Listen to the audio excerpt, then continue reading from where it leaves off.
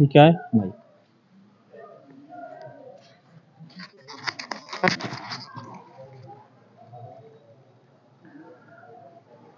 परम सम्माननीय आज जिस महापुरुष की जयंती विद्यालय परिवार में आयोजित की जा रही है, उनको मेरा चरणों में श्रद्धा सुमन अर्पित। आज जयंती है इनकी तो इनके जयकारे भी होने चाहिए।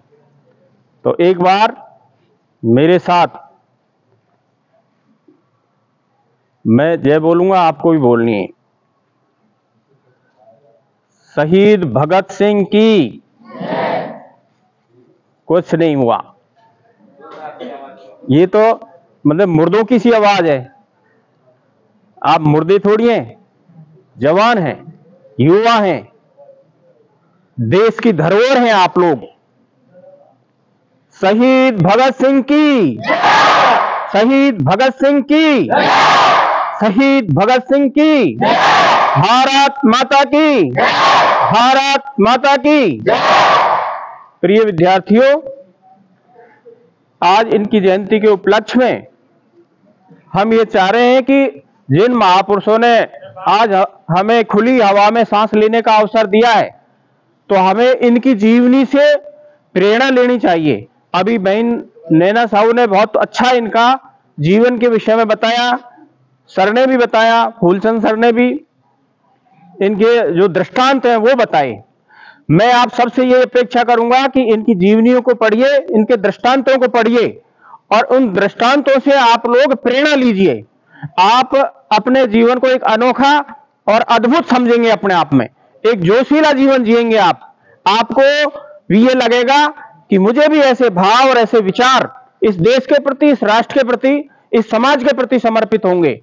तो निश्चित रूप से आप लोग जब कभी भी आप लोग को समय मिलता है, लाइब्रेरी में या कहीं कोई ऐसी पुस्तक मिलती है शहीदों से संबंधित तो आप लोग निश्चित रूप से उस पुस्तक का अध्ययन करेंगे और उनसे अपने विचार ग्रहण करेंगे और उसको अपने जीवन में डालेंगे।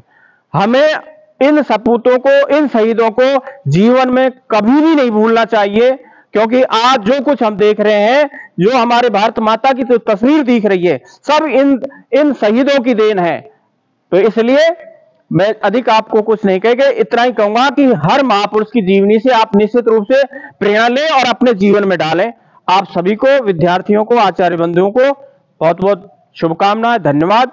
आप इस प्रकार के कार्यक्रम, चाहे वो दस ही मिनट के हो, ये जीवनिया इत्यादि हैं, वो निश्चित रूप से आयोजित करते रहे, क्योंकि ये जीवन को सुचारू रूप से चलाने का एक एक विकल्प भी है।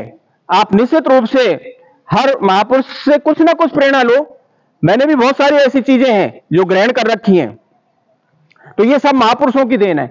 आप में यदि स्वच्छ निखार आना है, बहुत अच्छे नागरिक बनना है, एक राष्ट्र के लिए एक अच्छे नागरिक तैयार करना है तो निश्चित रूप से इन जीवनियों का पढ़ें और अध्ययन करें।